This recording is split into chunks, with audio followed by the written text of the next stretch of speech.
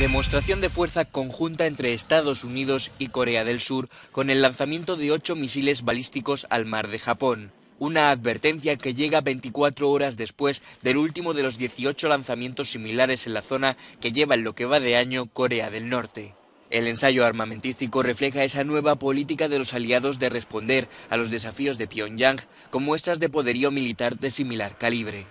En el caso de Estados Unidos y Corea del Sur, es la segunda vez que advierten a los vecinos norcoreanos en cinco años, después de que el pasado 25 de mayo probaran un lanzamiento de misiles similar al de este lunes.